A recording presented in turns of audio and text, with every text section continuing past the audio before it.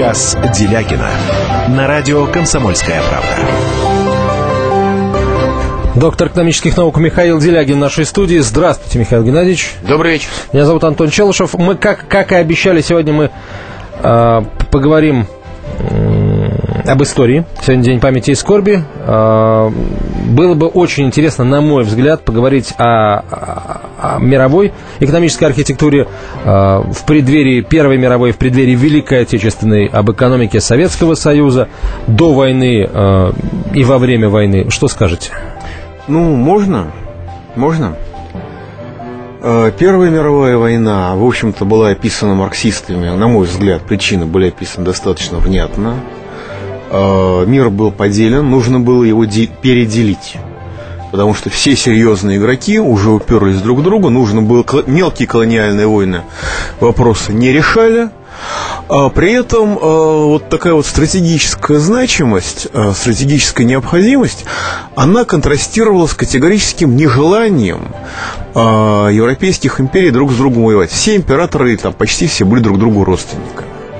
Друг к другу ездили в гости относились друг к другу, ну, как в семье относятся, да, к дальним родственникам. Брат подоз... мой, не зря они себя называли С подозрениями, брат, да. там, кто-то кого-то не любил, кто-то кому-то критически относился, но все равно это были родственники, воевать они не хотели, они не понимали, как так, э, неужели нельзя договориться. И когда э, читаешь э, описание Первой мировой войны, сделанная историками, которые описывали ситуацию на уровне государств, возникает ощущение, что война была случайной. Вот один другого не понял, э, друг, третий четвертому не дозвонился, пятый, пятого шестому не точно перевели и понеслась, а дальше остановиться было нельзя.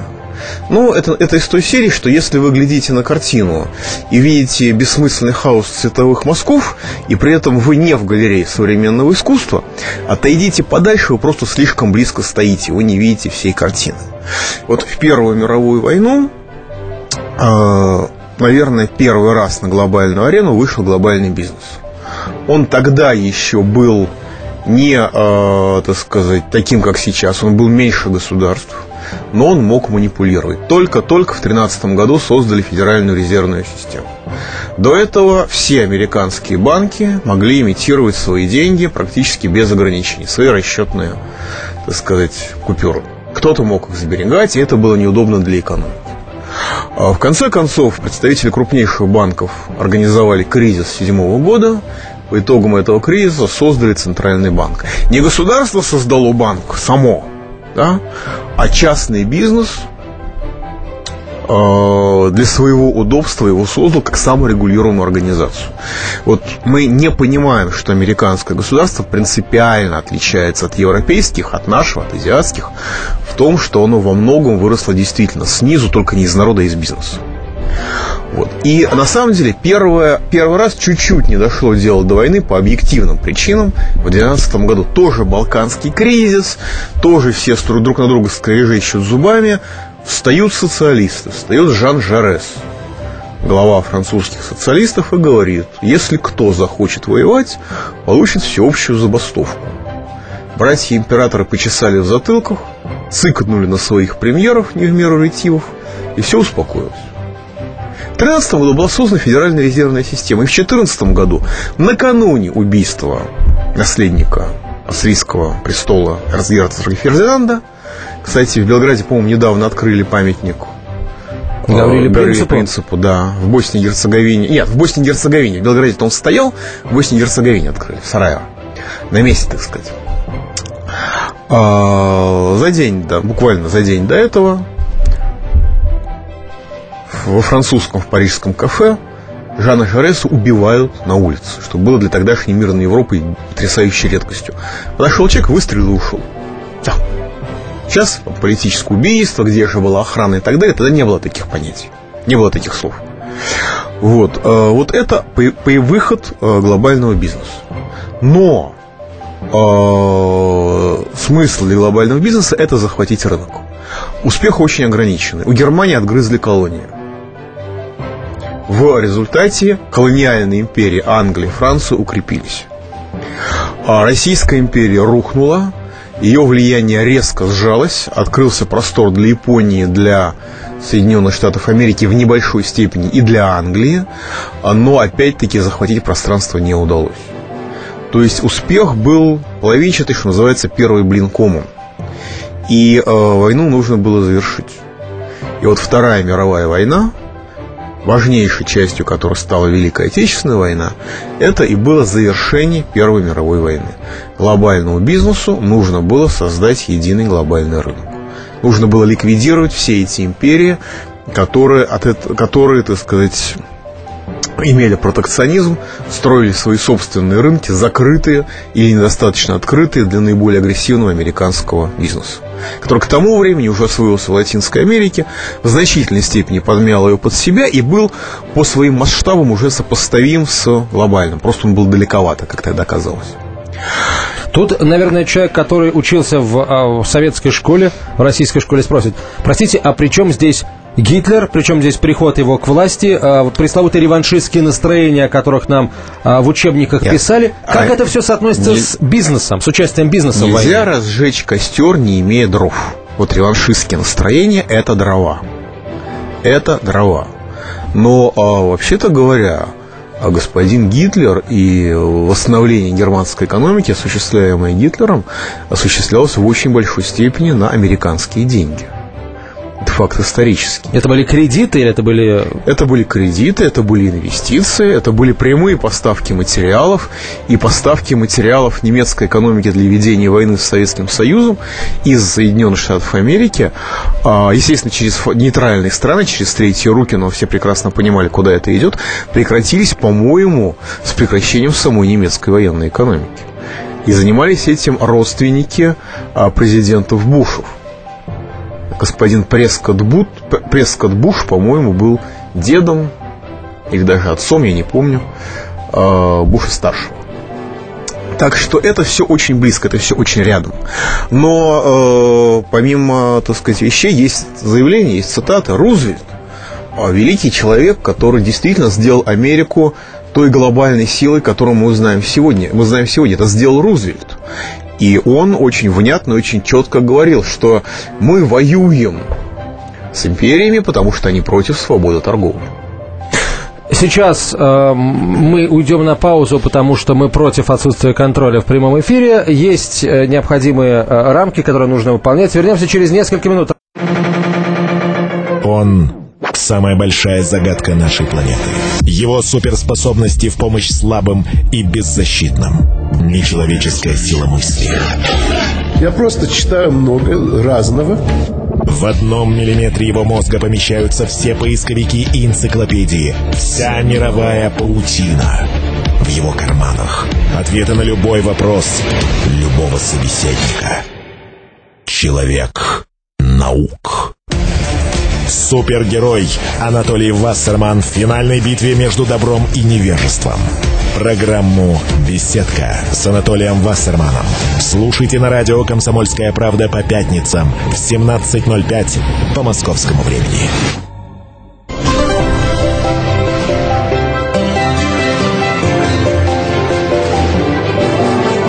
Час Делягина на радио «Комсомольская правда». Ну все, теперь временные рамки позволяют нам продолжить этот разговор. Доктор экономических наук Михаил Делягин и экономика, мировая экономика в преддверии Второй мировой. Ну и э, Рузвельт очень четко давал понять, что нужно открыть мир для американского экспорта. И закрытые территории это нехорошо. Михаил и он перечислял и э, Германию, захватившую Европу, и Советский Союз, и Японию в одном из своих выступлений практически через запятую. То есть было без разницы, кого ломать американцам. И конфигурация могла сложиться совсем по-разному. Я напомню, что одна из причин завершения финской войны мы, наши войска прорвали линию Маннергейма. Прорвали. И надо сказать, что сам Маннергейм, когда ему Сталин предложил разменять территории, прилегающие к Ленинграду на северной территории, он был за это. И он даже ушел в отставку, потому что как бы Сейм не поддержал его. Потому что он говорил, как, как петербуржец коренной, да, что с точки зрения войны, с точки зрения безопасности, это нормально, это правильное решение, и русских нужно понять. Другое дело, что потом он воевал уже как финский главнокомандующий, когда он вернулся. Вот. И э, собирался англо-французский корпус против нас, и вполне могли его получить войну с Англией и Францией. А, то есть все могло сложиться по-разному совсем.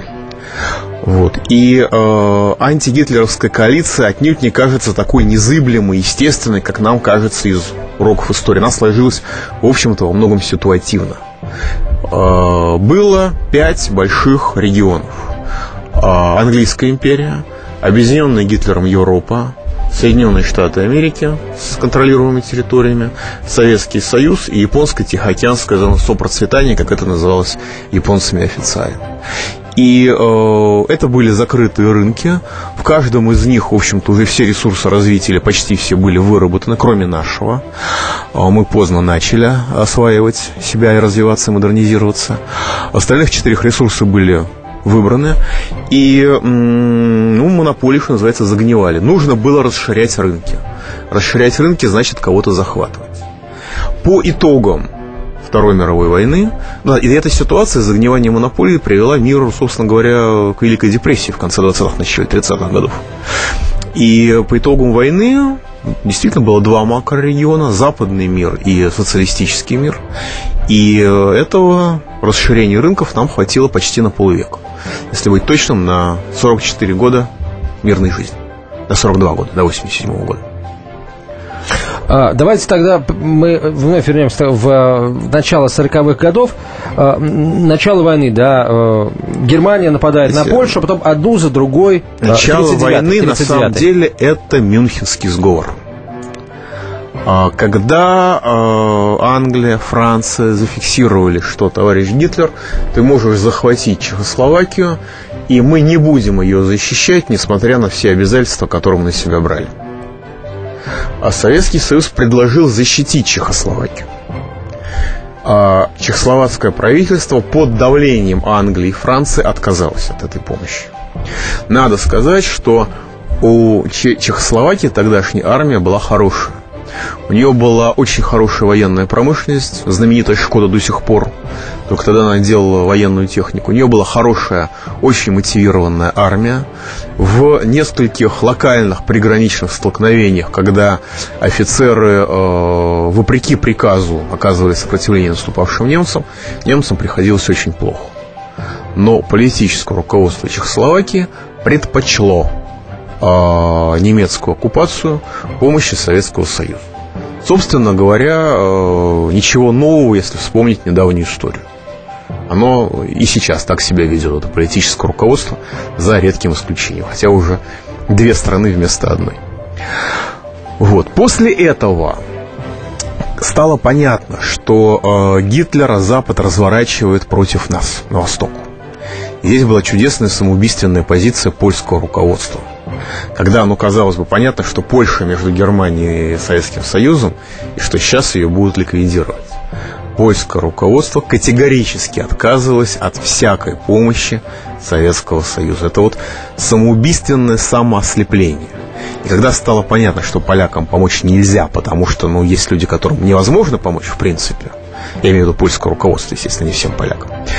После этого заключено, было заключено соглашение Молотова-Риббентропа, и это соглашение зафиксировало, что не Германия с Польшей будут вместе воевать против Советского Союза, а Германия сначала сама разберется с Польшей. И когда говорят, что вот два хищника набросились на беззащитную страну, ну, маленькая, маленькая деталь. Во-первых, два хищника не набрасывались.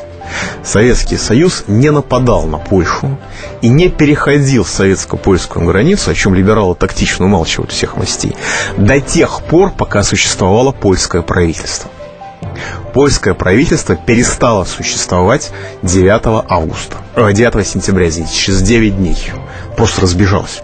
Солдаты еще сражались, армия еще пыталась оказывать сопротивление, руководство уже разбежалось. Те самые паны, которые за три дня до начала, до начала нападения отказывались от всех, всякой, всякой помощи, всякой поддержки и так далее. Вот. И только когда э, польская государственность исчезла, только после этого в середине сентября советские войска вошли. О том, с каким опозданием они вошли на территорию, свидетельствует то, что немцам пришлось отступать, чтобы передать э, западные части Западной Украине, Западной Белоруссии, потому что не залетели на эти территории с разбегу, с размаху. Знаменитый совместный парад в Бресте, да, это не парад победителей, это а, прохождение войск немцы передавали крепость и передавали прилегающий город советскому гарнизону. Соответственно, прошли одни и прошли другие. Никаких братаний особенных там не было. Вот сейчас либералы, естественно, все это выворачивают наизнанку. Вторая мировая война календарно началась нападением Гитлера на Польшу. Реально она началась Мюнхенским сговором. Когда английский Чемберлен, премьер-министр, приехал и сказал, я привез вам мир – единственный, кто смеялся, был Черчилль. Он, правда, смеялся сквозь слезы. Вот. Э, урок для всех, кто пытается умиротворить агрессора. Но это эпизоды, это события. А интересы, которые закладывались, во-первых, американский бизнес как единственный в тот момент глобальный бизнес. Во-вторых, все страны Европы, которым нужно было съесть друг друга и дозахватить колонии. Ведь французы начали строить линию Мажино в 28 году. Никому в кошмарном сне не могло даже присниться, что этот несчастный... Никто всерьез-то Гитлера всерьез не воспринимал-то. Были социалисты, были социал-демократы, извините, были коммунисты. Гитлер был, казался, ну, шпаной просто какой-то. 28 год. А французы уже начали строить линию Мужино. Они понимали, что Германия захочет вернуть себе. Неважно, какая Германия неважно, может быть и не Гитлер, кто угодно захочет вернуть себя. Но и Германия, которая хотела вернуть себе колонии, которая хотела вернуть себе Lebensraum, жизненное пространство, которая накачивалась деньгами все 30-е годы. И есть еще одна очень важная вещь. То, что мы видим сегодня на Украине. Нацизм не рентабелен принципиально нерентабелен. Это мироощущение, которое не позволяет строить нормальную, успешную экономику когда вы людей делите по расам, по цветам кожи и по всему остальному. Вот, соответственно, немцы построили, несмотря на финансовый гений Шахта и многих других, несмотря на поддержку американского бизнеса, несмотря на иностранные инвестиции и технологии, они построили экономику, которая нуждалась в постоянных захватах. Нужно было все время кого-то грабить.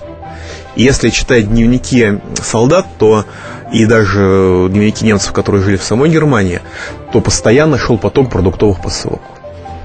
Из Франции выкачивалась еда. Тупо. Да? Вот. Э, и я не говорю про Украину, я не говорю про Белоруссию, я не говорю про Советский Союз оккупированный, про Молдавию. Нет, но система работала только на всасывании ресурсов. Неэффективная система была поразительной.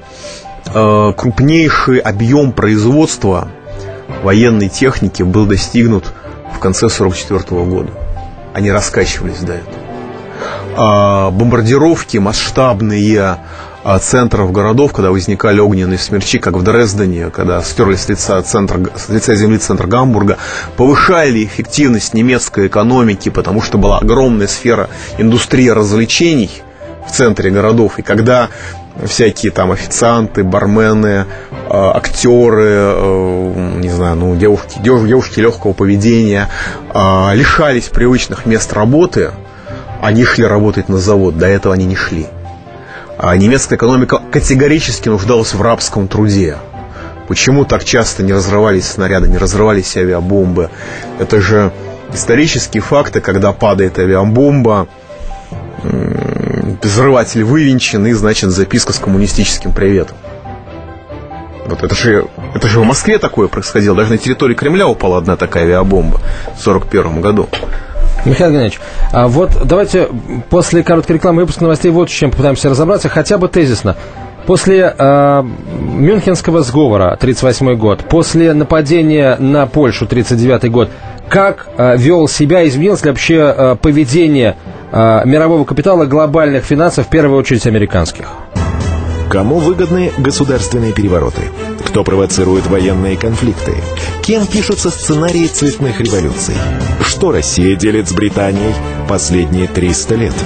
Обозреватель «Комсомольской правды» Галина Сапожникова вместе с политологами, социологами и историками ищет ответы на эти вопросы в специальном проекте «Занимательная геополитика».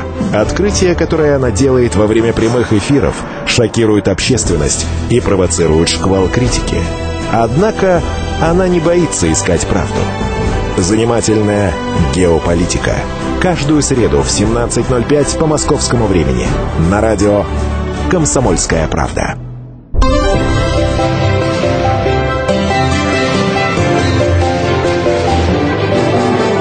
Час Делягина на радио «Комсомольская правда».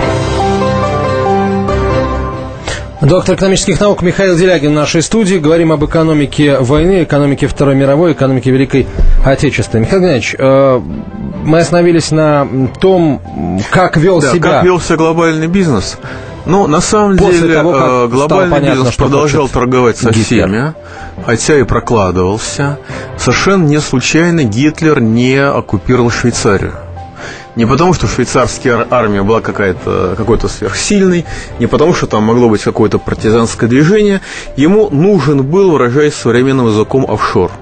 Ему нужно было окошечко, через которое можно было взаимодействовать с Западом и осуществлять подконтрольные финансовые операции. Точно по этой же причине имел большую, так сказать, большую свободу рук генерал Франко, еще большую свободу рук имел Салазар в Португалии. А, огромные возможности имела Швеция, тоже оставшаяся нейтральным государством. С одной стороны Норвегия, с другой стороны Швец, э, Финляндия, а вот швец, шведы нейтралы. Что хотим, то и делаем. Через них шел поток грузов, Швеция снабжала Германию железной рудой и многими-многими другими вещами. То есть два таких отмылочных центра. А С японцами, что характерно, американцы не торговали. С японцами они воевали по-настоящему. И там был риск действительно понести поражение. И а, на самом деле нападение японцев на Перл-Харбор, ну, война как таковая была вызвана а, резким ограничением поставок а, нефтепродуктов, которые Соединенные Штаты Америки осуществили в феврале 1941 года. Они очень здорово толкнули Японию к войне. У Японии были запасы, но а, осуществлять сколь-нибудь масштабную экспансию без бензина нельзя. Значит, либо вы не расширяетесь, сидите на месте, и, может быть, американцы возобновят вам поставки, либо вы делаете рывок, чтобы захватить нефтяные месторождения. Либо-либо. И американцы, я думаю, прекрасно понимали, что они не оставляют японцев выхода, и японцы начнут войну. Другое дело, что э, полноценных аналитических центров, которые позволяли бы спрогнозировать где, когда, как, и довести это решение до политического руководства страны, не было ни у кого. И, собственно, в Америке этот процесс начался именно после Перл-Харбора.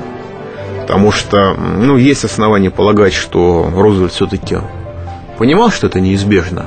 Прогнозы были, но до политического руководства в целом, а в Америке система управления все-таки довольно распределенная. Да, это не один человек, который принимает все решения. Вот, до, до, до политического руководства в целом эти прогнозы ли, либо не были доведены, либо ды- были доведены как нечто настолько гипотетическое, что можно не обращать внимания. Но при этом э, глобаль- глобальный бизнес разжег пожар, ну, а потом пришлось спасаться, потому что пожар, в общем-то, касался и людей, касался и состояний, касался и предприятий. То есть, э, да, они оказывали поддержку, они все-таки в основном они были нашими союзниками. Не будем забывать. Правда, когда говорят о ленд-лизе, да, ленд-лиз это замечательно, он сыграл огромную помощь, но основная часть ленд-лиза, поставок по ленд-лизу э, была, при- начиная с конца 43 года, когда итог войны уже был предрешен. Знаменитый И конвой... она была возмездной. То есть мы что-то должны были за это. Это был кредит. Мы должны были деньги. Часть денег мы выплатили, часть денег мы выплачивали. И американского, рузвельтовского как это, помощника по особым поручениям Гарримана даже возили на Колыму специально, чтобы э, он увидел, как добывается золото, и понял, что золота достаточно, и Советский Союз расплатится. И удивительно, что увидев самый, что ни на есть настоящий ГУЛАГ, да еще и военного времени, товарищ Гарриман за права человека не боролся. И о том, что это так плохо в стиле Солженицына не рассказывал. Понятно, что шаламовские места ему не показывали, ну а места обычные, вероятно, выглядели не намногим хуже, чем в то время они выглядели в Соединенных Штатах Америки. Или примерно так же. Да? Вот. Э, но э, после войны, когда началось обострение ситуации, Сталин сказал, что вообще-то ленд-лиз оплачен кровью советского народа. И эта тема всерьез больше не поднималась, потому что все понимали, что это действительно так. Михаил Геннадьевич, а вот э, когда После 1939 года, когда Гитлер начал одну за другой, еще расскажу, захватывать страны Европы, нач, начались э, бомбежки британских городов и попытки э, там, посражаться с англичанами на море. А Вашингтон как себя вел? Вот продолжал торговать и с теми, и с другими, и с Гитлером, условно говоря, нет, нет, и с... Нет, нет, нет, поймите, вот и, и это не про Вашингтон. Американский бизнес через прокладочки торговал с Гитлером, оказывал ему поддержку. Да, есть ничего было личного, только все это было, было, это было. было. Но Вашингтон, как центр политического руководства, э, говорил, что, конечно же, господа англичане, мы с вами всей душой. Другое дело, что в Америке были очень сильные изоляционистские настроения. И без Перл-Харбора э, Рузвельту бы не удалось э, втянуть Америку в войну. Более того, Гитлер сделал потрясающий подарок Рузвельту. Без всяких оснований он, когда японцы напали на Перл-Харбор, он э, тоже объявил э, войну Америке. То есть это был такой жест солидарности. Без этого, даже после Перл-Харбора, Рузвельту было бы очень трудно объяснить американскому народу, что вот мы воюем с японцами, но немцы тоже наш враг. Германский фашизм это тоже плохо. То есть вот степень этого изоляционизма не нужно преуменьшать. А, Соединенные Штаты Америки оказывали поддержку Великобритании, и для того, чтобы помогать англичанам, Рузвельту нужно было извернуться, потому что были довольно сильные настроения, что они там в Европе воюют, а мы вообще не должны в это дело вмешиваться. Воюют и ладно. И когда у англичан иссякли деньги, ленд-лиз был придуман для Великобритании. Когда закончился золотой запас, да, с, с ними стали торговать в кредит, и это был очень большой шаг к тому, чтобы доллар стал мировой валютой. Потому что до этого английский фунт стерлингов казался стоящим незыблемо, как скала, и вот все английское золото оказалось в Соединенных Штатах Америки. Вот. Именно тогда а, Англия стала младшим братом США. И в этом отношении такое вот сохранение Великобритании как формально независимой территории, которая противостоит, которая продолжает борьбу, но которая не может выстоять одна и поэтому является младшим братом, а не хозяйкой империи, как раньше, это было, безусловно, для американцев выгодно. Ну и на самом деле здесь, конечно, очень много всяких потайных элементов. Ну, скажем, действительно Гитлер собирался штурмовать Великобританию можно объяснить, почему он выпустил английские войска из Дюнкерка. Он хотел договориться.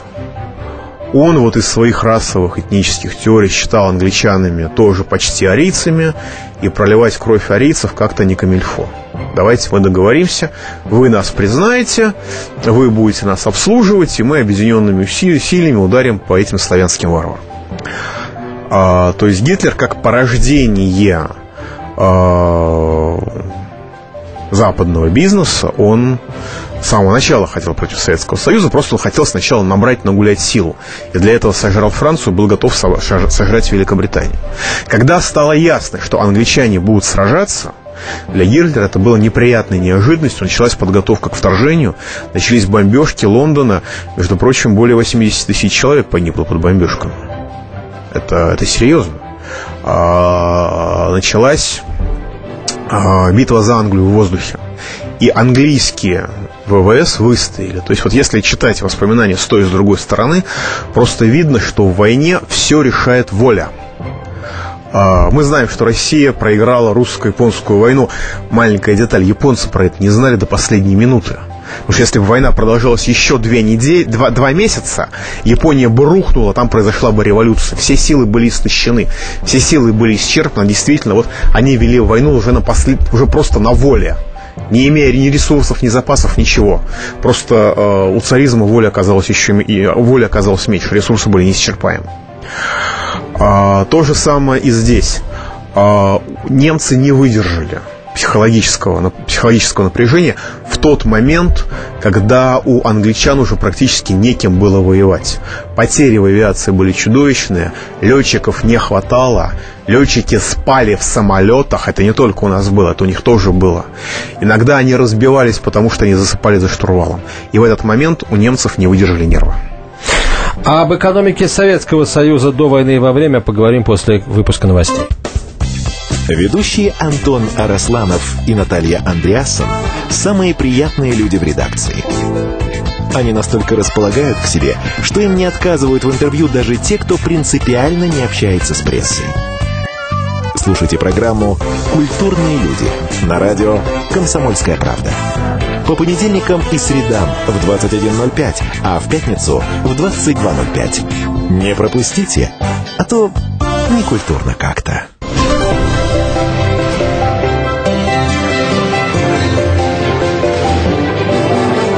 Час Делягина на радио «Комсомольская правда».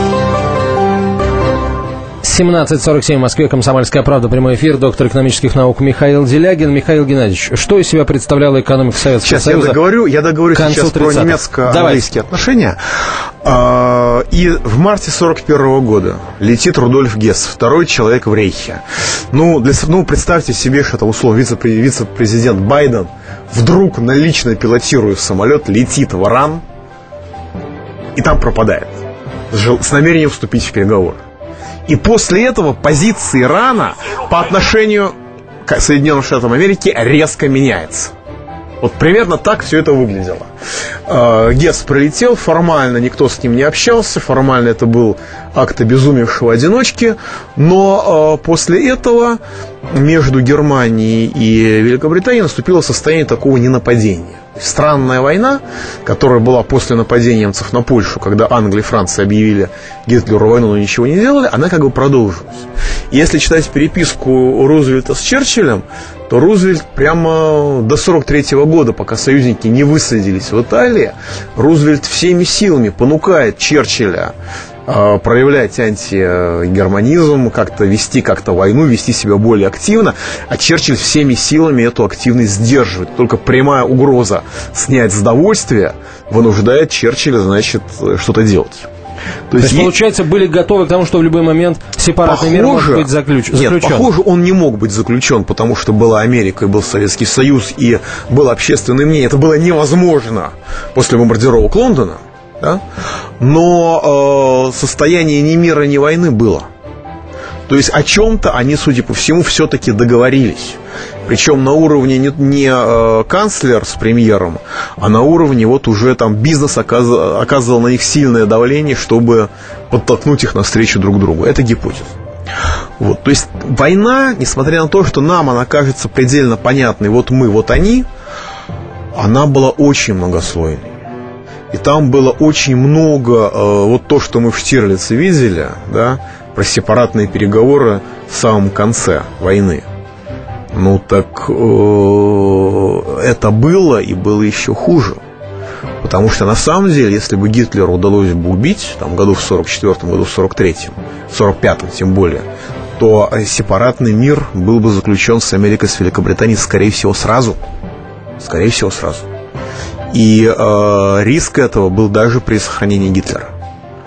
Это известный факт, что были у нас планы уничтожения физического Гитлера, и где-то в начале 1944 года от них отказались. Люди были самоотвержены, люди были готовы рискнуть. Э, ставка у него была под Винницей, Вольшанца, Волчье логово. Но и можно было достать их в Германии, но э, как поведут себя в этой ситуации союзники, лишившись так сказать, давление общественного мнения, потому что человек-дьявол исчезнет, появятся какие-то менеджеры, а с ними можно уже договариваться. То есть таких, таких проблем было очень много. Что касается советской экономики, я думаю, что 29-го через недельку мы это обсудим подробно. Я пока хочу сказать главное. Вот э, время после подписания пакта Молотова-Риббентропа э, до 1941 года это время взрывной революции – то есть э, экономика не просто начала перестраиваться на военный лад, она галопом начала перестраиваться на военный лад. Ведь э, в 1939 году у нас была управленческая катастрофа. С одной стороны, взрывная индустриализация, безумный рост новых производств и ситуация стала неуправляемой. У нас еще в первой половине 40-го года, 40-го, падало производство радиотехнической промышленности, падало производство тракторов по сравнению с 1939 годом. Мощности выросли очень существенно, а тракторы это танки, между прочим, в статистике так, для понимания тогдашней. А, мощности выросли очень сильно, количество занятых выросло колоссально, структура экономики усложнилась безмерно, и система управления запуталась. С другой стороны, только что прошел 37-38 годы. А, восстание а, правящей тусовки партхоз номенклатуры против попытки демократизации. Чем был порожден большой террор? Главная была причина в чем? Там заговор Тухачевского и все остальное, это уже детали, это уже вишенки на торте. Сталин действительно э, воевал против, как он ее называл, проклятой касты бюрократии. Проклятой касты партхоз номенклатуры, которая выкристаллизовывалась в новый класс. И он в, в Конституции 1936 года, это была не игрушечная Конституция, там было заложены альтернативные выборы. Причем вы выбирать, э, выдвигать кандидатов могли даже культурные объединения. То есть там, Всероссийская организация библиотекарей, например. Легко, без вопросов. И это конкурентный выбор означало страшную угрозу для тогдашней партийной, пар, партийной верхушки. Потому что э, статьи, которые закрепляла бы лидерство коммунистической партии, шестой статьи, э, не было. И э, если вы, коммунист, не победили на выборах, то какой же вы коммунист? И вас легко могли не просто из секретарей выгнать, вас из партии могли исключить, а то и куда подальше отправить. А не вредитель ли вы, не саботажник ли вы? Угроза была очень страшная. И я просто это видел, когда в единый, естественно, в микро, микроскопический аналог, когда в Единой России ввели праймерис. И многие, во многих регионах, где эти праймерис были всерьез, Бонза и Единая Россия начали зачистку всех потенциальных конкурентов. Почему пришлось создавать Объединенный Народный фронт? Чтобы людей спасли, чтобы их не съели, не раздавили везде.